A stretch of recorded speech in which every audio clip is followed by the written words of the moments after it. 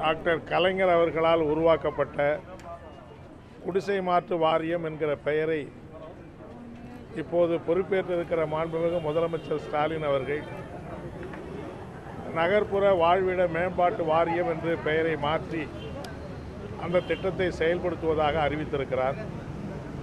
அதே போல் அந்த திட்டத்தை செயல்படுத்துவதற்கு பல்வேறு புதிய சலுகைகளும் கூட அறிவித்திருப்பதை மார்க்சிஸ்ட் கம்யூனிஸ்ட் கட்சியின் சார்பில் நாங்கள் வரவேற்க வரவேற்கிறோம்.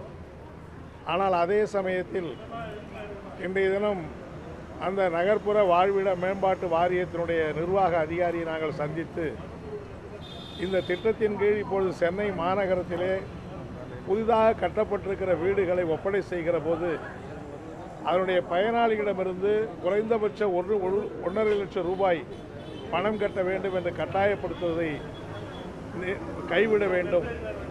ஏற்கனவே குடிசை மாற்று வாரியத்தில் இருந்தவர்கள் இப்போது அதை மாற்றி புதிய குடியிருப்புகளுக்கு வருகிற போது அவங்ககிட்ட போய் நீங்கள் ஒன்றரை லட்ச ரூபா பணம் கேட்பது கூடாது என்பதை வற்புறுத்தி நீண்ட நேரம் பேச்சுவார்த்தை நடத்தினோம். அதே மாதிரி புதிதாக வீடு கட்டுகிறவர்களுக்கு இந்த திட்டத்தின் கீழ் ஐந்து லட்சம் ரூபாய் பணம் கட்ட வேண்டும்.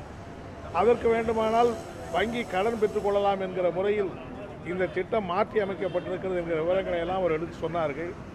ஆனால் மார்க்சிஸ்ட் கம்யூனிஸ்ட் கட்சியின் சார்பில் எந்த நோக்கத்துக்காக இந்த குடிசை மாற்று வாரியம் என்பது உருவாக்கப்பட்டதோ அந்த நோக்கத்தினுடைய அடிப்படையை அரசு மாற்றி அமைக்கக்கூடாது சென்னை நகரத்தில் இருக்கிற ஏழை அன்றாட உழைப்பாளிகள் தினக்கூலி தொழிலாளிகள் இவர்கள் குடிசையிலே வாழ்ந்து நொந்து போகிற அந்த நிலைமையிலிருந்து மாற்றி அவர்களுக்கு ஒரு நாகரிகமான வாழ்வு ஏற்படுத்த வேண்டும் என்கிற முறையிலே தான் இந்த அடுக்குமாடி குடியிருப்புகளை கட்டி இந்த குடிசை மாற்று வாரியம் உருவாக்கப்பட்டது.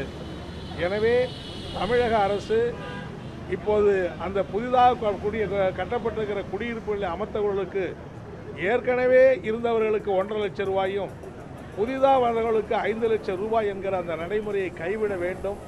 பழைய மாதிரியே அவர்கள் அத்துணை பேருக்கும் இலவசமாகவே அந்த வீடுகளை கட்டி கொடுத்து அந்த திட்டத்தை செயல்படுத்த வேண்டும் என்று அதிகாரிடம் வற்புறுத்தி இருக்கிறோம் அவர் என்ன சொன்னார்னா அரசாங்கம் செய்கிற காரியத்தை சொல்லுகிற காரியத்தை நாங்கள் செய்கிறோம். இது அரசினுடைய கொள்கை முடிவு என்கிறதுனால் அரசு தான் இதை தீர்மானிக்க வேண்டும் என்று சொல்லியிருக்கிறார். நீங்கள் அரசாங்கத்துக்கு எங்களுடைய கோரிக்கையை அனுப்புங்க. நாங்கள் அரசுக்கிட்ட மாண்புகிட்டு முதலமைச்சர்கிட்ட இது சொன்ன பேச்சுவார்த்தை நடத்துகிறோம் ஆனால் நிச்சயமாக இதை கைவிடவில்லை என்று சொன்னால் இன்றைக்கு குடிசை மாற்று வாரியத்தை நம்பி இருக்கக்கூடிய பல்லாயிரக்கணக்கான மக்கள் நாளைக்கு வீதியில் இறங்கி போராடுவதை தவிர வேறு வழி இல்லை.